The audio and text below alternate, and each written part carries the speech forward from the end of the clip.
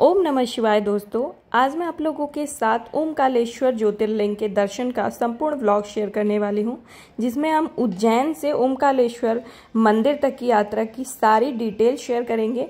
इस वीडियो में हम ये भी जानेंगे कि कितना खर्च आता है अगर हम उज्जैन से ज्योतिर्लिंग, ओमकालेश्वर ज्योतिर्लिंग के दर्शन के लिए जाते हैं। कितना हमें किराया लगता है लोकल बस गाड़ी या फिर ट्रेन से? और अगर आप प्राइवेट कार या फिर वैन बुक करते हो तो आपको कितने पैसे की खर्च आती है? पर पर्सन आपको कितने रुपए टिकट लगते हैं? अगर आप बस से जाते हो तो एसी नॉन एसी बस सारी चीज़ें जानकारी हम देंगे। और साथ ही साथ आपको हम ये भी बताएँगे कि ओमकालेश्वर में अगर आप स्टे करना चाहते हैं नाइट स्टे तो आपको कौन सा जगह पे जा के बहुत ही सस्ते प्राइस में रूम और भोजन की व्यवस्था मिल जाएगी। ये सारी चीज़ें हम इस वीडियो में जानेंगे।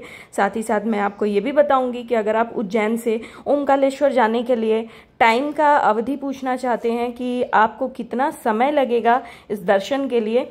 तो वो भी मैं आपको बताने वाली हूँ इस वीडियो में कि आप एक दिन में ओंकालेश्वर से दर्शन करके फिर उज्जैन लौटने के लिए आपको कितना टाइम लगेगा? और ओंकालेश्वर में आपको दर्शन करने के लिए पूरा टाइम कितना लगता है? ये सारी चीज़ें हम लोग इस वीडियो में जानेंगे। तो इससे पहले मैंने महाकालेश्वर की संपूर्ण दर्शन का ब्लॉग शेयर किया था, जिसमें हमने वीआईपी दर्शन ड्रेस कोड और सारी चीज़ें बताई थी। टिकट प्राइस और महादेव को जल चढ़ाने से, फूल चढ़ाने तक की सारी बातें मैंने बताई थी, सारी डिटेल में जानकारी उसका लिंक डिस्क्रिप्शन बॉक्स में दे दूँगी। और साथ ही साथ मैं आई बटन में भी उसका लिंक दे दूँगी तो आप वहाँ से भी चेक कर लीजिएगा। और उसके साथ मैं आपको एक और जानकारी दे दूँ। महाकालेश्वर की भस्म आरती की सारी डिटेल वाली वीडियो जो है चैनल पे मैंने कल का अपलोड किया है तो उसे भी मैं उसका भी लिंक डिस्क्रिप्शन बॉक्स में दे दूँगी आई बटन पर दे दूँगी तो आप वहाँ से चेक कर लीजिएगा। उसमें मैंने भस्म आरती की सारी डिटेल में जानकारी दी है कि इस टाइम किस प्रकार से दर्शन हो रहा है, कितने रुपये में आपको दर्शन करने को टिकट मिल रहा है, और साथ ही साथ कैसे बुकिंग करनी है भस्म आरती की, और आपको सीट पे बैठ करके दर्शन करने के लिए क्या करना पड़ रहा है ड्रेस कोड सारी चीज़ें हमने बताई हैं। और ये जो ब्लॉग है, ये ओमकालेश्वर का है। तो हम अपनी ओमकालेश्वर की यात्रा शुरू करते हैं। महाकालेश्वर का दर्शन हम लोगों ने कर लिया और दूसरे दिन सुबह में हम लोगों ने भस्म आरती अटेंड की सुबह की। और सुबह की भस्म आरती साढ़े छः या सात बजे तक हम लोग अपने होटल रूम में आ गए थे। तो इस वजह से हमारी जो उस दिन का पूरा समय था, उसको हम लोगों ने शेड्यूल किया कि हम ओंकालेश्वर जाएँगे, जो कि हमारा पहले से ही प्लान था। शेयरिंग बस से ज़्यादा हमें अच्छा लगा कि हम लोग अपना खुद का ही गाड़ी बुक कर लेते हैं, क्योंकि उसी दिन शाम को हमारी उज्जैन से मैहर जी जाने की ट्रेन थी। तो हमें बस टाइमिंग मिली थी रात के नौ बजे तक।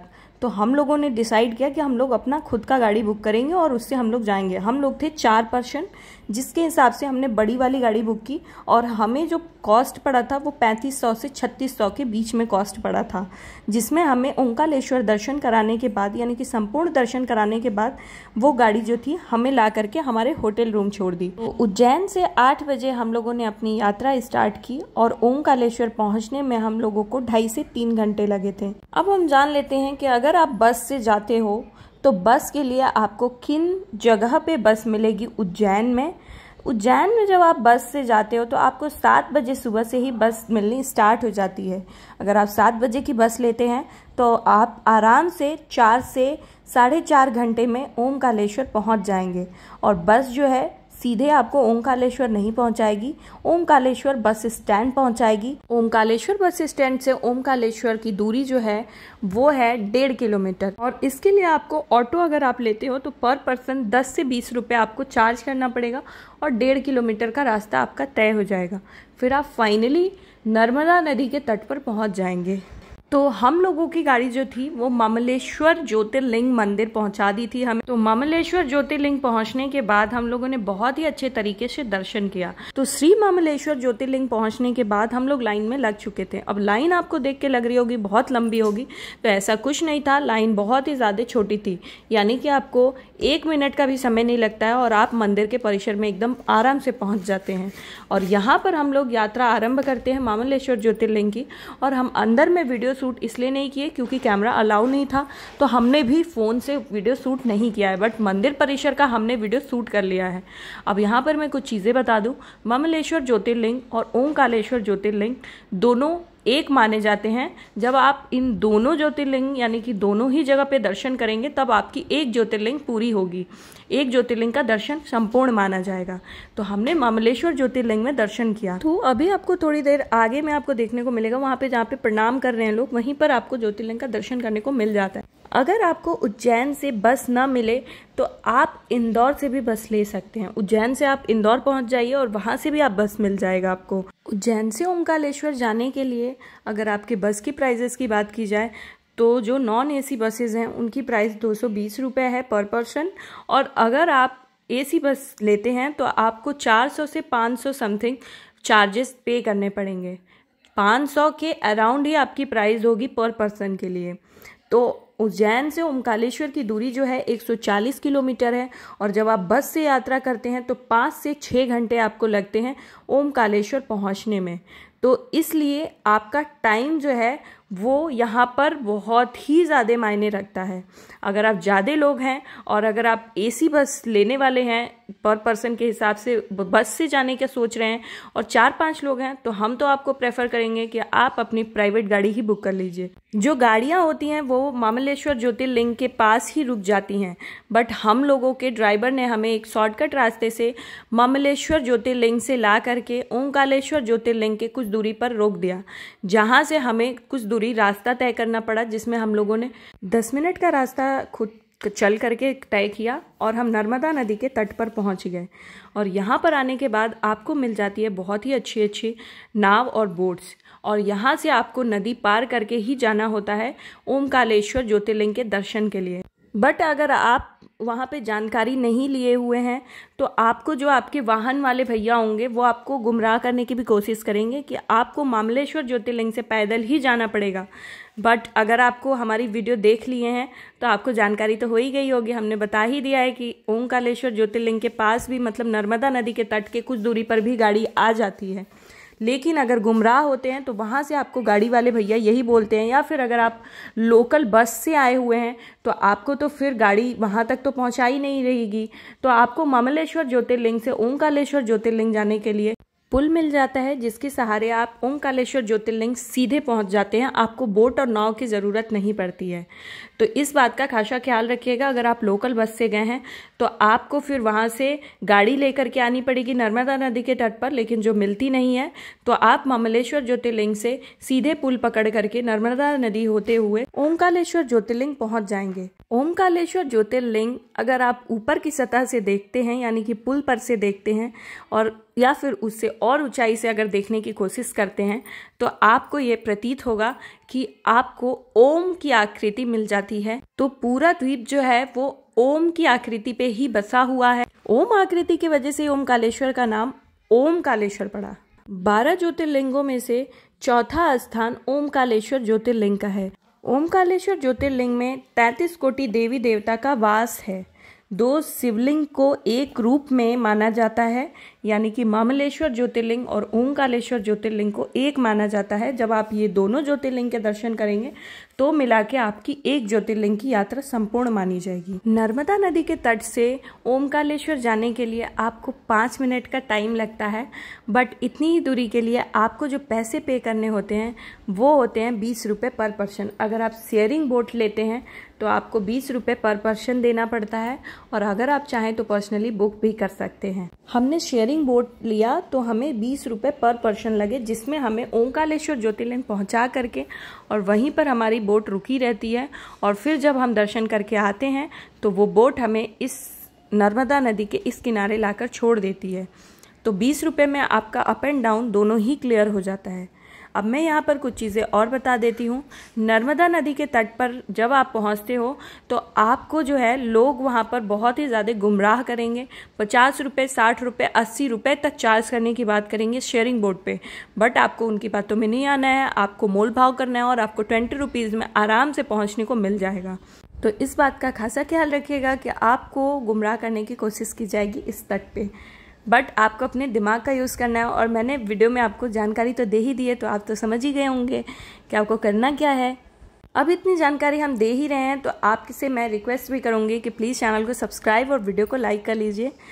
महाकाल कॉरिडोर का भी दर्शन हम आपको नेक्स्ट व्लॉग में करवाएँगे तो आपको नोटिफिकेशन बेल ऑन कर लेना है और चैनल को सब्सक्राइब कर लेना है। ओमकालेश्वर अभी हम लोग पहुँच चुके थे और ओमकालेश्वर ज्योतिर्लिंग में पहुँचने के बाद हम लोगों ने एक मिनट सीढ़ियाँ चलनी थी आपको और ऊपर आप हॉल में पहुँच जाते हैं। ओमकालेश्वर हम लोग पहुँच चुके थे और यहाँ से हमने हंड्रेड सीढ़ियाँ चढ़ी और फिर हम मंदिर के हॉल में आ गए थे, मंदिर परिसर, जो कि काफ़ी ऊंचाई पे है। अगर आप महाकालेश्वर आए हैं तो आपको ओंकालेश्वर ज्योतिर्लिंग का भी दर्शन ज़रूर करना चाहिए।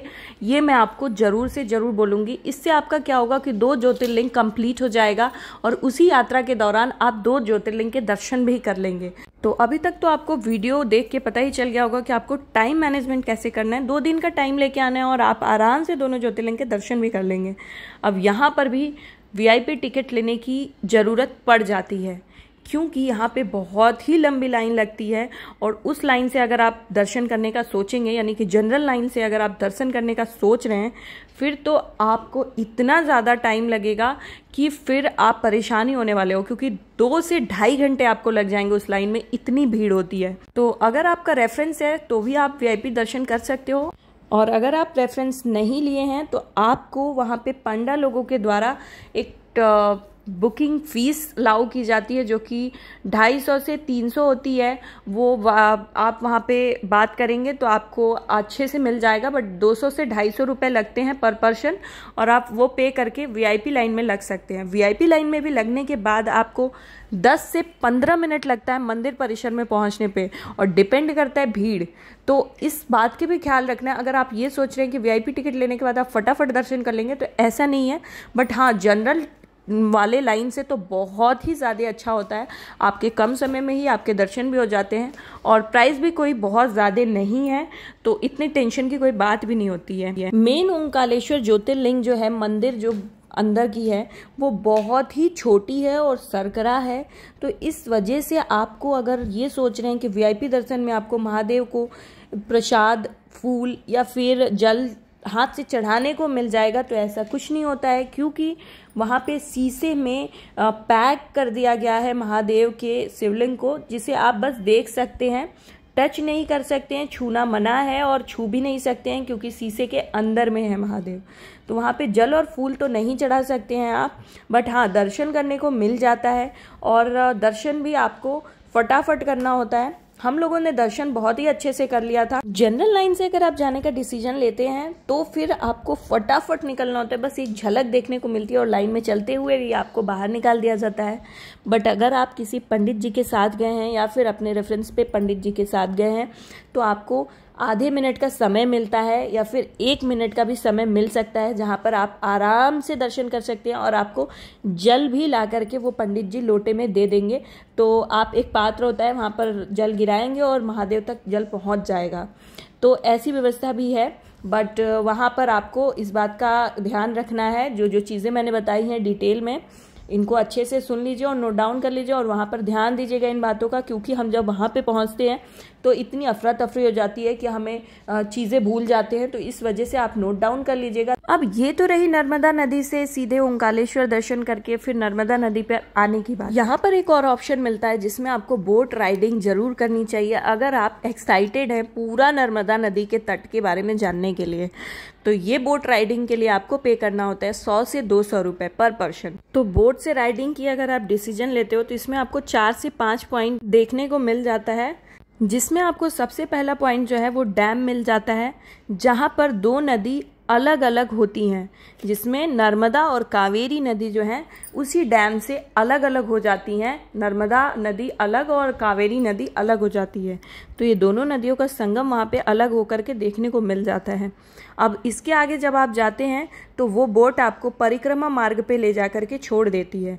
अब ये परिक्रमा मार्ग जो है, ये आपको खुद से ही तय करना होता है। परिक्रमा मार्ग से जब आप दर्शन करने के लिए परिक्रमा स्टार्ट करते हैं तो रास्ते में आपको दो चार मंदिर भी मिल जाते हैं, जो कि सात से आठ किलोमीटर की रास्ता होता है ये परिक्रमा मार्ग का। और ये दो घंटे का रास्ता होता है, डेढ़ से दो घंटे आपको लग जाते हैं। ये आपको केदारेश्वर मंदिर होते हुए ये रास्ता जाता है। तो आपको सबसे पहले केदारेश्वर मंदिर के दर्शन करने को मिलते हैं इस मार्ग में। उसके बाद ऋण मुक्तेश्वर मंदिर के दर्शन करने को मिलते हैं। गौरी सोमनाथ मंदिर के पास है और पांडवकालीन मंदिर है ये। बहुत सारे पौराणिक मंदिर मिलेंगे इस रास्ते में जब आप दर्शन करने के लिए। ये मार्ग यानी कि परिक्रमा मार्ग बोट राइडिंग चूज़ करते हैं तो। और आप ये सारे मंदिर के दर्शन कर लेंगे, जो कि बहुत ही अच्छे होते हैं, अद्भुत होते हैं। बट इसमें आपको समय लगता है डेढ़ से दो घंटे। तो इतना टाइम अगर आपके पास रहे तो आप बोट राइडिंग ज़रूर लीजिएगा, क्योंकि बोट राइडिंग का अलग ही इंजॉयमेंट है। परिक्रमा मार्ग की यात्रा जो है, सिद्धनाथ मंदिर में जाके पूर्ण हो जाती है, और वहाँ से आपको 10 से 15 मिनट लगता है, जिसमें आपको एक ब्रिज मिल जाती है, और उसे आप 10 से 15 मिनट दूरी तय करेंगे। उसके बाद आप ओमकालेश्वर के घाट पे पहुँच जाएँगे। ओमकालेश्वर में ब्रह्मपुरी घाट पर बहुत ही भव्य आरती होती है और ये शाम की आरती होती है जो सात बजे शाम से स्टार्ट होती है। तो अगर आपके पास समय है और आप ओमकालेश्वर में रुकने वाले हैं, नाइट स्टे करने वाले हैं तो आपको यह आरती भी ज़रूर अटेंड करनी चाहिए। ये अपने आप में एक बहुत ही दिव्य आरती होती है। तो आप ये भी अटेंड ज़रूर कर लीजिएगा। ओमकालेश्वर में अगर आप नाइट स्टे करने वाले हैं तो आपको एक जगह मैं सजेस्ट करना चाहूँगी, जहाँ पे आपको एफोर्डेबल प्राइस में भोजन और रहने की व्यवस्था मिल जाती है। यहाँ पर श्री गजानन महाराज संस्थान है और यही संस्थान का नाम है जहाँ पे आप पहुँच जाएँगे, बहुत ही आराम से किसी भी ऑटो को बोलेंगे तो वो आपको वहाँ पे पहुँचा देंगे। यहाँ पर आपको तीन सौ पचास रुपये से नौ सौ पचास रुपये तक के एसी और नॉन एसी रूम्स मिल जाते हैं, जिसमें आपको आप प्रसाद भी ले सकते हैं, प्रसादालय मिल जाता है, इसी संस्थान के अंदर में है, जिसमें 10 से 20 रुपए का प्रसाद मिल जाता है। अगर मैं खाने के प्राइस की बात करूँ तो खाना आपको 40 से 50 रुपया पर प्लेट मिल जाता है तो खाना भी काफ़ी अफोर्डेबल और अच्छा मिल जाता है। और ये संस्थान आपको बहुत ही कम प्राइस में रूम्स अवेलेबल करा देता है। यहाँ पर आप चाहें तो डोरमेट्री रूम्स भी ले सकते हैं, जो कि पर पर्सन बेड के हिसाब से अगर इसके सिंगल पर्सन बेड की प्राइस अगर बताऊँ तो 40 से 60 रुपए आपको पे करने होते हैं। क्योंकि हम लोग नाइट स्टे नहीं करने वाले थे ओमकालेश्वर में तो हम लोगों ने अपनी गाड़ी से रिटर्निंग की। तो रास्ते में हमें कुछ टाइम बाद एक अच्छा सा रेस्टोरेंट मिल गया जिसमें हम लोगों ने खाना वाना खाया और अच्छा खाना था टेस्टी था भूख लगा होता है तो हमें कोई भी खाना टेस्टी ही लगता है। तो हमें ओंकालेश्वर के दर्शन की यात्रा काफ़ी काफ़ी काफ़ी अच्छी लगी। यहाँ पर हम लोगों ने खाना ऑर्डर कर दिया था और हम लोग वेट कर रहे थे कि हमारा खाना फटाफट आ जाए। तो आ, वेट तो हो नहीं रहा था क्योंकि भूख बहुत ज़ोरों की लगी थी। हम लोग सुबह से कुछ भी नहीं खाए थे। और टाइमिंग जो थी वो हो गई थी दो ढाई बज रहे थे। तो हमें भूख तो बहुत ज़ोर की लगी थी। तो खाना आने में कुछ टाइम लगा बट अच्छी व्यवस्था थी यहाँ की। अभी मैं एक बार फिर से मेंशन कर देती हूँ। इससे पहले मैंने महाकालेश्वर के संपूर्ण दर्शन का ब्लॉग शेयर किया है, जिसमें हमने महाकालेश्वर दर्शन में ड्रेस कोड आपको दर्शन करने में महादेव के ऊपर जल चढ़ाने, फूल चढ़ाने का मौका कैसे मिल सकता है, कैसे टिकट बुक करना है, जिससे आपको वीआईपी दर्शन करने को मिल जाएगा। और ये सारी चीज़ें देख बताई हैं। क्योंकि वहाँ पे महाकालेश्वर मंदिर में भी दर्शन करने के लिए आपको वीआईपी टिकट लेने की ज़रूरत पड़ती है और टिकट बुकिंग करनी पड़ती है, तभी आप महादेव के ऊपर जल और फूल चढ़ा सकते हैं, वरना आप बस दूर से दर्शन करके और मंदिर से बाहर आ जाएँगे। तो ये डिटेल हमने उस वीडियो में बता दी और साथ ही साथ हमने भस्म आरती का भी व्लॉग शेयर किया है, जिसका कि लिंक इन दोनों वीडियो का लिंक डिस्क्रिप्शन बॉक्स में भी दे दूँगी और आई बटन में भी दे दूँगी तो आप वहाँ से ज़रूर चेक कर लीजिएगा। महाकालेश्वर कॉरिडोर जो कि एक अद्भुत दृश्य है, जो कि वहाँ का एक लोकप्रिय दृश्य है। उसका भी व्लॉग हम इस व्लॉग के जस्ट बाद शेयर करेंगे तो इसके लिए आप चैनल को सब्सक्राइब कर लीजिए वीडियो को लाइक कर लीजिए और नोटिफिकेशन बेल को तो ज़रूर ऑन कर लीजिएगा, ताकि जब भी वीडियो आए, जैसे ही आए महाकालेश्वर के कॉरिडोर की, वो आपको फटाफट देखने को मिल जाए। इस वीडियो में ओमकालेश्वर दर्शन की सारी जानकारी देने की कोशिश की है। कुछ भी छोड़ा नहीं है बट फिर भी अगर कोई जानकारी छूट गई हो या फिर आपको कोई जानकारी जाननी हो तो आप कमेंट बॉक्स में कमेंट करके हमसे पूछ सकते हैं। हम फटाफट रिप्लाई कर देंगे और आपको आपके क्वेश्चन का जवाब भी मिल जाएगा। बदले में बस आप हमारे लिए भी प्रे करिएगा, जब भगवान के यहाँ जाइएगा तो कि हमारे लिए भी कुछ अच्छा मांग लीजिएगा और कमेंट करके ज़रूर पूछ लीजिएगा। कोई भी डाउट हो, कुछ भी आपको जानना हो, कोई भी क्वेरी हो तो कमेंट कर लीजिएगा। दर्शन रिलेटेड महाकालेश्वर, उज्जैन से रिलेटेड जो भी क्वेरी हो, ठीक है? बेझिझक कमेंट करिएगा, मैं डेफिनेटली रिप्लाई कर दूँगी। थोड़ा टाइम अगर लग जाता है, यानी कि आधे एक घंटे बाद अगर मैं रिप्लाई करती हूँ तो उसके लिए मैं पहले से ही क्षमा प्रार्थी हूँ। हमारी कोशिश रहती है कि हम आपके कमेंट्स का तुरंत रिप्लाई करें। और तो कमेंट बॉक्स में कमेंट करिएगा। और ये व्लॉग आपको कैसे लगा, ये बताइएगा। चैनल को सब्सक्राइब कर लीजिए वीडियो को लाइक कर लीजिए। तो हम लोग रिटर्न हो करके रात के आठ बजे उज्जैन अपने होटल पे पहुँच गए थे और वहाँ से हमारी नौ बजे ट्रेन थी मैहर जी की। तो मैहर जी का भी व्लॉग आएगा वीडियो में नेक्स्ट वीडियो में, और वो व्लॉग भी बहुत ही ज़्यादा अच्छा रहने वाला है। तो उसे भी ज़रूर देखिएगा, क्योंकि हम लोग जब मध्य प्रदेश में आए थे तो हम लोगों ने ऐसा सोच लिया था कि हम मैहर जी के भी दर्शन कर ही लेंगे, क्योंकि हमें माता रानी के भी दर्शन करने थे। तो इस वजह से तो उसका भी ब्लॉग आएगा चैनल पे, आप उसे चेक कर लीजिएगा। हम लोगों ने रात में ट्रेन लिया था और सुबह में हम लोग पहुँच गए थे मैहर जी। और बाकी का तो सारा डिटेल जो है, वो उसी ब्लॉग में होगा। तो उसके लिए आपको नोटिफिकेशन बेल ऑन करना पड़ेगा, तभी आपको वो नोटिफिकेशन मिलेगा जैसे ही ब्लॉग आएगा तो। तो यहाँ से हम लोगों को फिर जाने में भी उतना ही टाइम लगा था जितना हमें ओंकालेश्वर आने में लगा था। उससे 10-20 मिनट कम लगा क्योंकि हमारी रिटर्निंग थी तो इस वजह से थोड़ा रास्ता खाली भी हो गया था। और अगर आप बस से गए हैं तो आपको एक बात का ध्यान रखना पड़ेगा कि बस की टाइमिंग जो है, उसको काफ़ी ध्यान देना पड़ेगा अगर आप उज्जैन रिटर्न जाते हो उसी बस से तो। तो इस बात का अपने दिमाग में टाइमिंग सेट कर लीजिएगा और उसके हिसाब से आपको दर्शन करना होगा ताकि आपको बस फिर मिल जाए उज्जैन रिटर्न जाने के लिए। तो इस बात का भी ध्यान दीजिएगा। और वीडियो पूरा देखने के लिए धन्यवाद। आप सभी को दिल से और वीडियो को लाइक कर लीजिएगा और अपने फैमिली एंड फ्रेंड के साथ शेयर ज़रूर करिएगा। ओम नमः शिवाय। चलिए मिलते हैं नेक्स्ट वीडियो में।